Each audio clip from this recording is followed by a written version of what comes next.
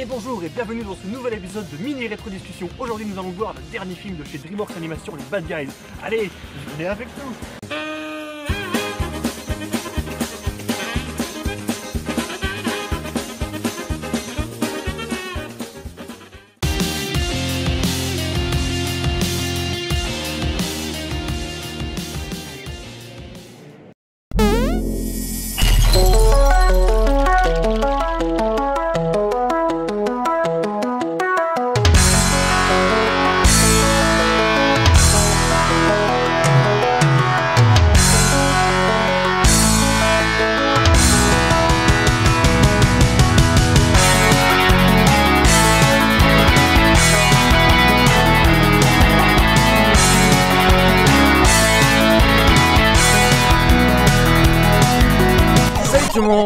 et bienvenue dans ce nouveau mini rétro discussion.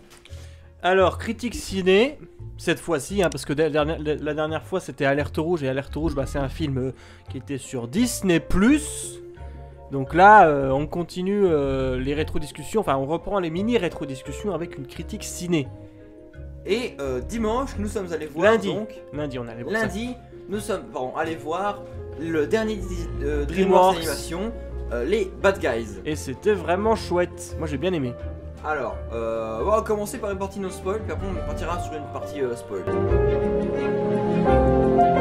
Voilà, alors euh, le, synopsis c'est qu'on va suivre du coup une bande de bad guys composée de Monsieur Loup, Monsieur Serpent, euh, Monsieur, Madame Tarentule, Monsieur Piranha et Monsieur Requin qui sont donc des, des bad guys qui commencent un petit peu à se poser des questions sur sur euh, est-ce que c'est vraiment bien euh, de est-ce que est-ce que ça nous est pas vraiment quelque chose de bien d'être euh, bah, d'être des bad guys et qui vont du coup subir une sorte de comment on pourrait dire ça de enfin pas subir mais ils vont suivre une sorte de thérapie pour essayer de devenir Ah ouais, pour essayer des de citoyens devenir modèles et donc organisé par une sorte de par un, un cochon d'Inde donc, un professeur. Alors en fait c'est bizarre parce que le je- j'en parle c'est pas un truc qui spoil mais le les bad guys et les, en fait les protagonistes et les antagonistes sont euh, sont des animaux alors que le reste des personnages sont des humains c'est bizarre et donc euh, hum, euh, donc euh, on va avoir une relation entre Monsieur Loup et euh, euh, Diane qui est une, une, une renarde je sais pas si ça se dit Oui, c'est ça, une renarde qui que je crois est pas mère de la, elle doit être mè- mère de la ville, je pense, ou un truc comme ça. euh, je, je me rappelle plus. J'aime bien ce personnage parce que je me dis euh, à chaque fois, en fait, je me faisais à la réflexion euh, en- pendant la, séance de ciné, que, putain, elle va, elle va finir sur DeviantArt. Pourquoi? Pourquoi c'est fini Elle sur va la plaire, au, ça va plaire au Fury, ça. Tu- Ouais, tu feras ta non, petite mais, recherche. Oui, non mais t'inquiète, je crois que j'ai compris le truc. Mais, Mais, euh, euh, voilà, euh, voilà, mais sinon, euh, t'en as pensé quoi toi du film? Alors euh, déjà, alors franchement très bon film. L'humour, bon bah l'humour est quand même totalement différent d'un humour du- Disney. c'est du DreamWorks quoi, c'est plus. Euh, un- je dirais que c'est un meilleur humour qu'un humour euh, de Disney. Euh, les personnages sont vachement bien, surtout le serpent. bien, ouais, Donc le serpent, franchement, il est cool parce que lui, le serpent, c'est c'est vraiment celui que, qui veut pas, veut pas devenir gentil. Il veut toujours Ouais. pas admettre que- qu'il peut être gentil en fait.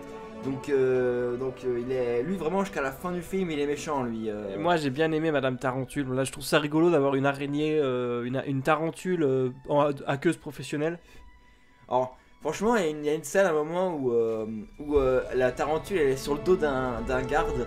Et, euh, et Toi, je toi. dis à Jérémy, putain, j'aimerais pas que ce soit une vraie. Heureusement que c'est pas une vraie araignée, Ouais. parce que ça m'aurait déjà foutu des frissons. Ça. Mais euh, sinon pour parler un petit peu, moi il y a un truc que j'aime bien dans le film, c'est le fait qu'il commence. Enfin, euh, oh vas-y ça spoil pas trop, c'est le fait qu'il commence par un plan séquence.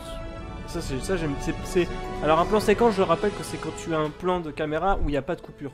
C'est-à-dire au début tu les tu vois, euh, bon j'en parle, vas-y, pas grave si j'en parle dans la partie no spoil, où tu vois euh, du coup euh, euh, Monsieur Serpent et Monsieur Loup qui parlent, là, dans- ils sont dans un bar, Ah après oui. tu les vois, ils partent du bar, et en fait il n'y a, pas de coupure, c'est la caméra, et j'aime beaucoup, c'est- c'est- je connais pas beaucoup de films d'animation qui commencent avec un plan séquence. Moi j'en connais pas beaucoup. Non, euh. Je sais pas, t'arrives. Zootopie euh... Non, Zootopie non, non. pas Zootopie. Euh. Bah non, je vois, je vois pas d'autres films qui commencent. Mais sinon, l'animation est vachement cartoonesque, elle a un petit côté cel shading. Je sais pas si t'as. Si. euh, À côté, c'est. Un Euh, petit peu quand même.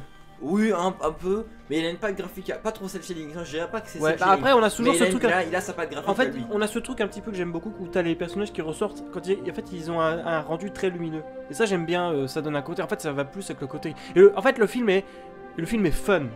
Et ça fait du bien de voir un film fun parce que moi dernièrement euh, au cinéma, je suis allé avant, avant des- ah, le dernier film que je suis allé voir euh, au cinéma avant les Bad Guys, c'était King. C'était un peu chiant, mais là ça fait du bien de revoir un bon film, un film fun vraiment. euh, le, film est fun. euh, Il y a des bonnes, il y a des bonnes blagues. J'ai bien aimé moi, honnêtement. Non, franchement, ouais, il y, y a de bonnes blagues. les personnages sont vachement bien développés.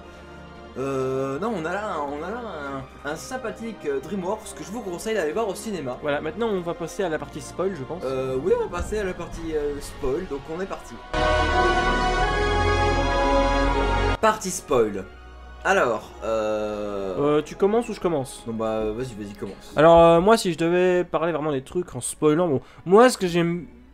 euh, La révélation du méchant à la fin, donc on découvre que le professeur Marmelade, donc le, le cochon d'Inde, c'est euh, le, le- méchant. Et c'est marrant parce que dans En fait, le truc c'est qu'au bout d'un moment, en fait au bout d'un moment, à chaque fois, j'ai toujours ce... Moi quand je vais voir un film, un film que ce soit animation ou truc muche, animation ou peu importe, et que tu as donc euh, le, un- le- un- un- tu as le, le fameux méchant surprise, euh, je me fais toujours avoir par surprise parce qu'à chaque fois, moi je regarde le film... euh, euh, je sais pas comment expliquer, mais je me fais toujours prendre par surprise. Il y a aucun moment où je me dis, lui, ça va être le méchant. De toute façon, on sait tous très bien que normalement dans les films, les riches, parce que le, oui, hein, le professeur Marmelade, là, le, le, le cochon d'Inde, c'est un riche. On sait toujours très bien que les riches dans les films, c'est toujours les méchants. Mais euh, d'ailleurs, j'aime son majordome, il a une tête bizarre. Je trouve euh, elle est rigolote sa tête à son majordome. Ah, je sais pas c'est- si tu vois. Ça, c'est un peu. euh, C'est rigolo. C'est un peu le, le- le truc décalé, quoi. Mais voilà, et moi, en fait, c'est marrant parce que je vois. Donc, tu as le- la scène de flashback avec la musique et je me dis dans ma tête, ça va être lui le méchant, ça va être lui. Voilà, et euh, sinon, bon, après. euh, Alors, du coup, pour euh, rentrer dans la partie un peu spoil, euh, au début, au tout début, le premier cas qu'ils font, c'est de voler le dauphin d'or qui devrait être remis au professeur Marmelade parce que euh, c'est un bienfaiteur de la ville et que machin. bah, parce qu'en fait, il a tout simplement. Attends. Il a sauvé la ville le jour où une météorite. euh, C'est pas qu'il a sauvé la ville techniquement, c'est juste qu'il a récupéré le cœur euh, de la météorite qui a une forme de, une forme de cœur. Genre la météorite elle a une forme de cœur. Je trouve ça rigolo. Et oui, l'amour, tout ça, truc mouche, inséré ici une référence à My Little Pony. Bon, bref, en, en gros, il y a une météorite qui ressemble à un cœur qui s'écrase sur la ville. Et professeur Mar- Marmelade, il a, il a euh, euh, dit à la ville Oui, euh, c'est rien, ça va s'arranger. Et du coup, tout le monde, tout le monde l'a, comment, l'a félicité et lui remettre le dauphin d'or à cette fameuse soirée, là où les bad guys veulent, bah, Mm. veulent voler le, le dauphin d'or, justement. Et euh, voilà, ce que il y a un truc que j'aime beaucoup, c'est que donc tu as donc euh, la dame tarentule qui se bah, la toile, il l'appelle la toile, mais moi je l'appelle la tarentule. Ouais, ou la toile. Enfin bref, Euh, donc tu as tu as la toile qui euh, qui, qui, qui se met à- au poste de sécurité pour hacker du coup le système. Et euh, il y a un moment que j'aime beaucoup, c'est qu'elle essaye de elle essaye d'en- de- de- de- d'enlever le système anti euh, bad guys.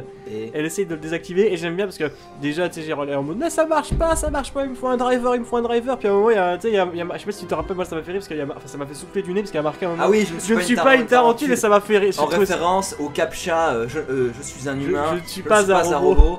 Euh, alors, ça- c'est en référence au captcha. Et franchement, la référence est vraiment bien. La référence elle est rigolote. Bon après faut, faut vraiment faut, faut déjà avoir eu un compte euh, faut déjà avoir eu un, com- un compte euh, peut-être enfin, Ah non, mais au moins une fois dans, la, dans sa vie, quand tu crées un compte quelque chose, souvent il y a le captcha. Donc au moins une fois dans sa vie, quelqu'un qui va sur internet a déjà eu affaire au captcha. Donc je pense que, bon, à part un gosse, tout le monde a la référence de ce Et truc. d'ailleurs je voudrais te dire, je te dire- de donner, te donner une anecdote.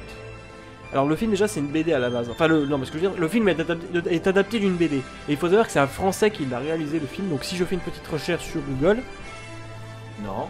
Ok. Bon, je vous la ferai après. Euh, Et euh, donc voilà, le film a été réalisé par un français et en fait j'aime beaucoup me dire que je pense qu'il a voulu, le réalisateur a voulu mettre un petit côté, enfin de faire une référence à Arsène Lupin avec le personnage de Monsieur Loup. Il a vraiment ce côté, d'ailleurs j'aime beaucoup ça, il a vraiment ce côté gentleman cambrioleur, tu sais genre c'est un cambrioleur mais qui a un côté vraiment... euh, Oui, non mais là franchement, mais en fait de toute façon euh, tous les personnages sont bien écrits. Hein. Le seul que je suis même pas trop c'est euh, c'est euh, le piranha et le requin. Ouais, ils sont pas, super développés. Vraiment les trois qui sont mis en avant c'est le, Le loup serpent, le loup et, euh, la tarentule. tarentule. Voilà. C'est vraiment les trois qui sont mis en avant. Sinon, est-ce que t'as d'autres trucs à dire en partie spoil? Bah, faudrait qu'on spoil un petit peu plus parce qu'on a un parti spoil. Et donc, du coup, euh, suite à ce casse qu'ils ont fait en voulant voler le, le dauphin d'or, ils se font choper. Et là, euh, Mira, Mira- non, pas Mirabelle, euh, Diane Euh, ma- non, euh, Marmelade Marmelade, euh, dit à, à Foxington. euh, Foxington, elle s'appelle Diane.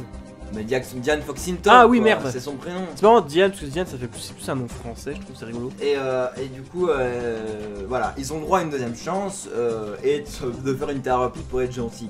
Le problème, c'est qu'en fait, plus tard, on apprend que euh, la météorite qui, s'est écrasée sur la ville, en fait, c'est un truc qui génère de l'énergie dont Mhm. Marmelade a besoin pour contrôler Pour des contrôler des cochons cochons Alors j'ai d'Inde, trouvé ça bizarre. pour Déjà, contrôler le monde. déjà, je trouve ça bizarre. En fait, on en revient un petit peu sur ce que je, dis, ce que je te disais avec My Little Pony. Le fait que dans My Little Pony, tu as les poneys qui se comportent comme des humains.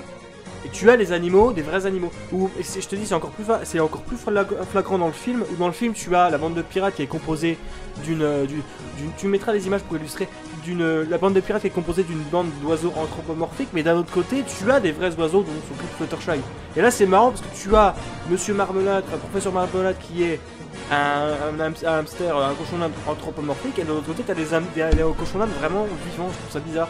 Et euh, aussi, je- j'ai pas trop, je me suis posé la question, mais attends, comment ça se fait que la, météorite qui génère une énergie, elle peut prendre le contrôle des, euh, des, oh, euh, hamsters Pour le coup, là, j'avais l'impression, là, c'est marrant parce que là, c'est le moment où j'avais plus l'impression de regarder un épisode. La météorite, elle. euh, elle euh, la météorite, elle alimente la machine du professeur Marmelade. Ah oui. Parce Donc, du coup, c'est pas la météorite qui contrôle les, les c'est marrant parce que dans ma, dans ma, dans- dans- pendant- le vision- visionnage, j'avais plus l'impression de regarder un épisode de Totally Spice dans le sens euh, science, magique, qui arrange bien les scénaristes. Euh. Ouais, et donc, qu'est-ce que j'allais dire Euh. Et donc là, plot twist, on apprend qu'en réalité, Diane Foxington est. Comment ça s'appelle déjà Euh, J'ai plus le nom. La. La. Bah sinon, tu cherches. Une cambrioleuse qui a volé Ouais, le, mais le on- diamant de, de je sais plus quoi là. Faut- euh, faut- Bon, bref. Non, plot twist, on apprend que Foxy, Diane Foxington est euh, en réalité le- une, euh, une ancienne cambrioleuse euh, euh, de- qui, qui a, qui a- qui a jamais été chopée et. Mais vraiment en mode euh, plus ninja en fait, enfin vraiment cambrioleuse, genre euh, avec une tenue en latex ultra moulant, un peu comme dans Totally Spies. Oui, bah non, on n'est pas sur le même. sur le même Non, euh, peut-être, on sait jamais, on sait jamais. Peut-être qu'il y a des gens qui ont bossé sur Total Spice vu que le film. Enfin, non, peut-être pas. Non, bref, laisse tomber.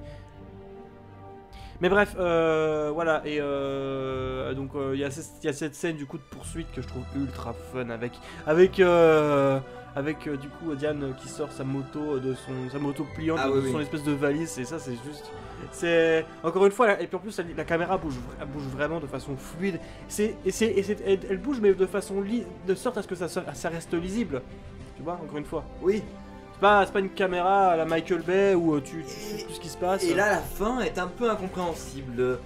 Euh, Bah. En fait, à la fin, euh, à la fin, la météorite est, est retrouvée et les bad guys se font euh, bah, arrêter quand même par les flics parce que euh, parce que la, la police a cru que c'était eux qui avaient volé la, la météorite alors que pas du tout. Mais Marmelade se fait quand même arrêter parce que euh, parce que on en réalité que c'est lui qui a volé euh, la ils ont fait croire que c'était lui qui avait violé le diamant euh, de je sais plus quoi, alors que normalement c'est Diane Foxington qui avait volé un, un gros diamant, le plus gros diamant du monde il me semble. Et ils ont fait croire que c'est à la fin ils ont fait croire que c'est Marmelade qui avait l'avait volé ce diamant, donc du coup il se fait quand même arrêter. Euh, Mais les bad guys se font quand même arrêter. Après, bon, ils ont, une, une- ils ont droit à une remise de peine un an plus tard. On le voit d'ailleurs dans, le, Ouais. dans le film.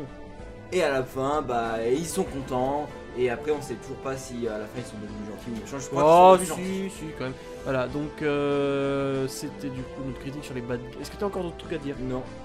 Bah, moi non Si plus. ce n'est, c'est un très bon film euh, C'est vraiment, c'était vraiment, vraiment bien. Moi j'ai bien aimé les bad guys. Ça fait longtemps que j'ai pas vu un aussi bon film d'animation aussi noche.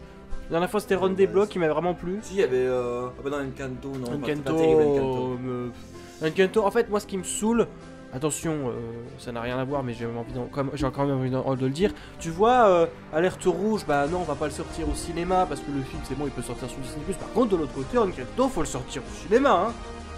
Mais Encanto apparemment. Nous on l'a on a, on l'a vu quand on a vu le jour de la sortie, non nous? Euh, non, on l'a vu le, le dimanche, à la sortie du film. Donc il était sorti mercredi, on l'avait vu le dimanche, c'est ça? Oui. Ok, et ben euh, Encanto apparemment euh, ça a été un, un sacré carton, il a bien été apprécié. Ah bah oui, c'est sûr, parce que euh, Si Disney va pas bref, bref, on n'est pas là pour parler d'Encanto, il aurait fallu regarder notre de la qualification de la, de la critique qu'on avait fait sur Encanto, sur le mini rétro discussion. Bref, allez sur ce, merci d'avoir regardé ce mini rétro discussion, on espère qu'il vous aura plu. T'as des choses à dire ou pas? Euh, bah, allez voir ma chaîne YouTube Happy Studio. euh, voilà, il y a plein de vidéos à voir. Il y a 23 vidéos actuellement. euh, 21 si on ne compte pas mes vidéos shorts. Et vous mettez un like, vous abonnez, vous partagez, bah voilà. Et sur ce, c'était Commandant Retro, et c'était Nintendo. On se revoit pour de prochaines vidéos. Bête le monde